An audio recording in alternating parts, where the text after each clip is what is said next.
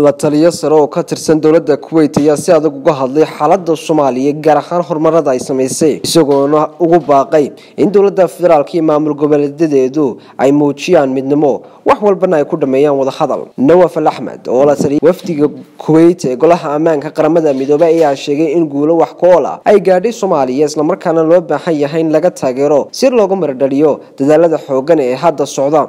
Ergiga dowladda kuweyt ayaa sidoo kale ku bogaadiyey qorshaha wada dowladda soomaaliya ee qabsoomida doorashooyinka guud ee sanadka labada kun labaatanka ilaa labada kun koob iyo labaatanka ah ee hal qof iyo hal cod. Sidoo kale master nawaf ayaa ka dalbaday xubnaha dalalka beesha caalamka inaysan ku xadgudbin madax banaanida dhuleed iyo midda siyaasadeed ee soomaaliya. Waxaanu tilmaamay inay muhiim tahay in la taageero xasiloonida guud ahaan soomaaliya. Ugu dambeyn wuxuu shaaciyey inuu soo dhaweynayaan muddo kordhinta lagu sameeyo cunaqabataynta hubka saaran ee soomaaliya ee golaha ammaanka qaramada midoobay. Ay mar kale ugu dareen muddo خلصنا ومحمد بدري محمد محمد صومالي تلفزيون كعالم ستار.